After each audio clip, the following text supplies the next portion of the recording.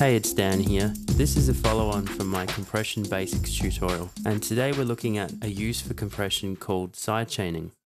So, what is it? Sidechaining, also referred to sometimes as ducking, is simply the use of one instrument to control the compressor on another. The compressor still compresses the track it's instantiated on, but rather than the compressor reacting to that particular track, it thinks it's working on something entirely different. In other words, the compressor is ducking the volume of the audio as though it were placed on something else. Sidechaining is sometimes incorrectly referred to as parallel compression, and while some of the confusion stems from the fact that the compression is happening in a parallel fashion, it is not the same as parallel compression. Parallel compression is actually a term mastering engineer Bob Katz coined to describe a compression technique which increases the decibel level of quieter passages without affecting the loudest peaks of the audio, whereas sidechaining relies on the key or input section of a compressor to work. So, how do we do it? We do this by placing a compressor which has a sidechain feature available on the track, our output or destination. We then feed an empty bus into this. We enable the sidechain feature by clicking on the key and then send another track, our source or input, to that empty bus. We then adjust the compressor to make it compress the track the way we desire, which all depends on our applications or reason for using sidechaining, which we'll cover shortly. In the majority of applications, though, the sidechain input will usually be the instrument you consider to be more important than the one of which you have placed the compressor on, as you are generally using sidechaining to make the input audio more of a feature by getting the other track out of its way.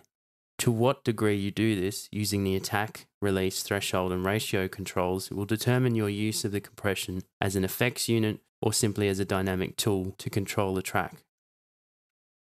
Additionally, we can also have the compressor only see the source or input audio between specified high and low frequencies. These are selectable between bell or shelving EQ, which can then be activated by clicking the in button next to them.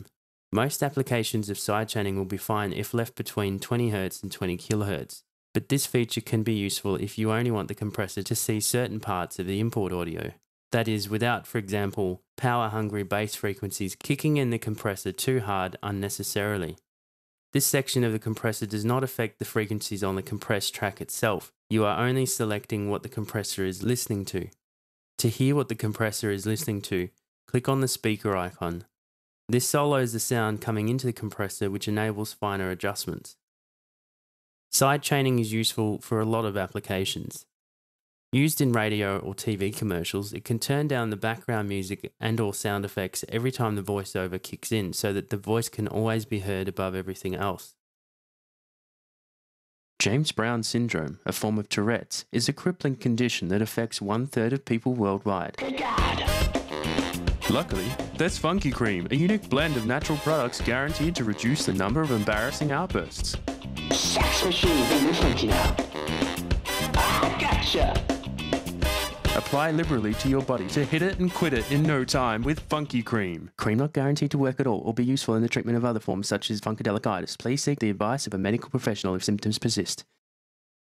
In electronic music, a typical application is to have the kick drum squash every other instrument in an obvious way, using the compressor more like an effects unit where the track starts pumping and breathing in time with the kick drum.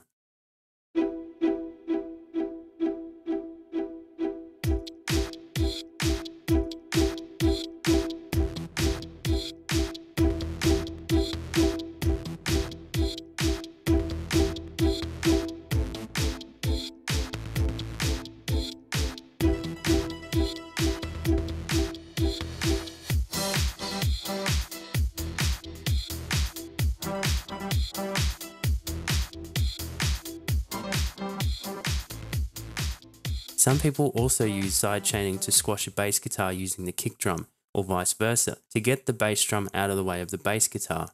Instead, I prefer to use EQ for separation unless one instrument should feature more than the other. You can refer to my spectral management video for more on that. Moving into more creative applications, you can place the compressor on a delay, reverb, or other effects unit. For example, a vocal with a long delay can sometimes get cluttered up when adding them together in the mix, as the delay starts to override the vocal part. By sidechaining the delay with the main vocal as the input, you can duck the volume of the delay whilst the voice is present and then have it release when it's not going to clash with the voice. This is handy for making sure that the vocal remains clear. Sidechaining also comes in handy when you found a great balance that you don't want to mess up because you're struggling to fit the vocal in with the mix. In the past, I mixed a rock track with full blaring guitars which sounded great with the rest of the band. But as soon as I realised that the vocal wasn't cutting through enough because of the guitars, I tried pulling down the guitars, and this, of course, changed the balance relationship between the guitars and the rest of the band to the detriment of the track. I tried EQing them out of the way of each other, but I found that this wasn't quite enough to make the vocal cut through, and it also made the guitar sound a little too different. I also wasn't too keen on doing lots of volume automation, so I eventually solved this by sidechaining the guitar master with the lead vocals, using a very small ratio just to take the tops off the guitars, and using a fast attack and medium release. This dropped the guitars down a few decibels when the vocals were present with no apparent volume change on the guitars or upset to the balance, and the vocals sat exactly where I wanted them to in the mix. If I had found that the guitars were dropping in volume too much, I would have perhaps considered narrowing the frequencies somewhat using the compressor sidechain EQ section, but as it was, it wasn't an issue.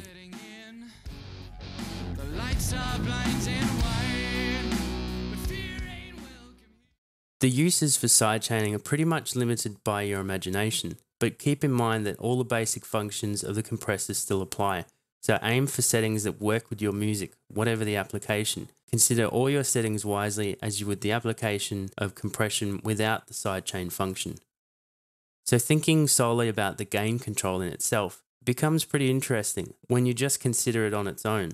You could theoretically feed the sidechain input to use it as a trigger for the compressor, turning up the compressor track when the sidechain input gets over a certain threshold, using it similar to an expander, I guess, but not quite.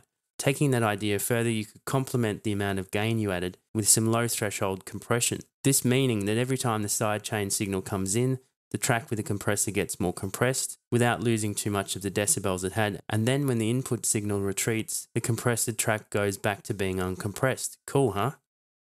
I haven't used this before, but thinking of an application for it, a good one may be in a hard rock tune that has both quiet verses and loud choruses. You could take the signal coming in from the guitars and feed that into the sidechain component of a compressor on the drum master and have that fatten up the drums with compression when the guitars get too loud. Don't underestimate the power of sidechaining. It's not just something that gets used in electronic music. It can be used just about anywhere.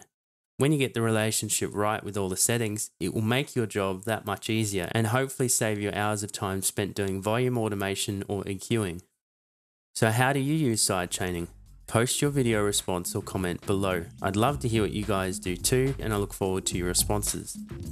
That pretty much covers sidechaining, so be creative and have fun with it. If you have any questions, comments, or ideas for further tutorials, please email me at yamahadrums2009 at hotmail.com and please subscribe to remain informed of future video releases. Until next time, happy mixing.